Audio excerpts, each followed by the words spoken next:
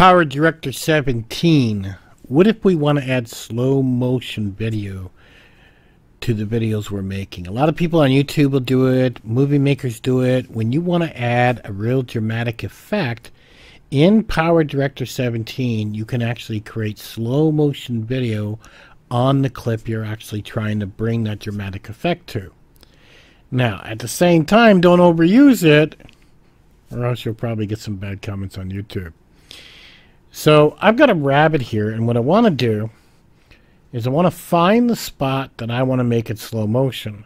Now, a person could just, if they want to, just hit play and then let it play through and find the spot they want, which is kind of boring and time consuming.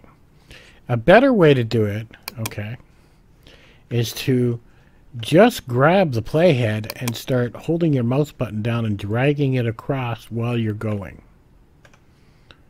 So I could grab it there. And while it's playing is when I'm grabbing it. And when you going to jump? Oh, there you go. Okay. So I kind of want to do it, you know, a little slow motion right in that, that situation there. So I'm probably going to want to cut it somewhere around here. So I'm going to pause it just before he jumps. And then on the left side here, I'm going to cut it. So now I've got a cut there. So the section I'm working on is only this section here in blue. Now over here in the tool menu, power tools, we're going to click on video speed.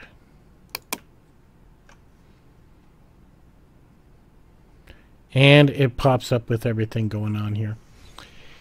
Now, I'm concerned over here with speed multiplier. This is what I'm concerned with here. So all I want to do is grab this slider bar and just kind of move it down. Then I want to come back and hit play. Not bad. Not too bad. But what if I wanted to go slower than that yet? All the way down. That's kind of cool. And he comes off the screen.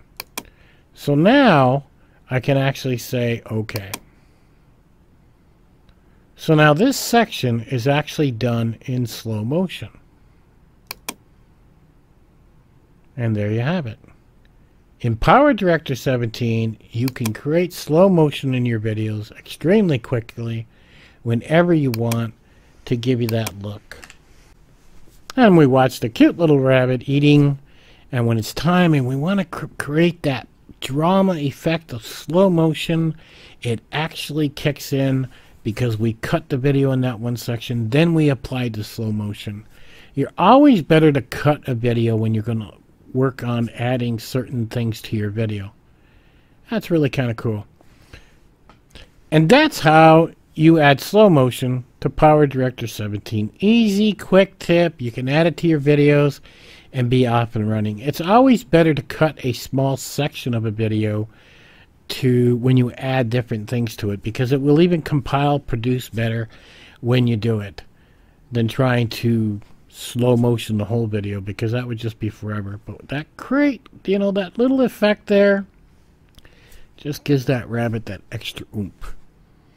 Alright guys, if you like the tutorials, click subscribe, hit the bell, and we'll catch you guys on the next one.